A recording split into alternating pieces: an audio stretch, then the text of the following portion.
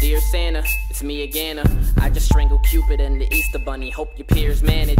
Every night on Christmas Eve, I keep an ear camera. I just wanna see you for once to show you my new hammer.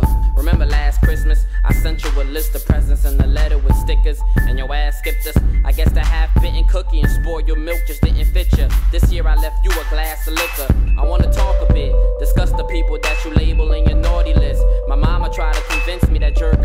sin because I left the porno in the VCR again. I borrowed it from my brother, she never walks to him. I'm slowly going crazy, becoming paranoid when someone talks about a baby. My mind serenades for every girl who can't take me. I hope Santa stays, maybe he'll finally relate to me.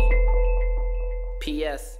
My ex girl's pregnant. I knew it by the second when she started getting constant headaches on a common setting. I don't wanna force it, but there's a portion of me that's starting war with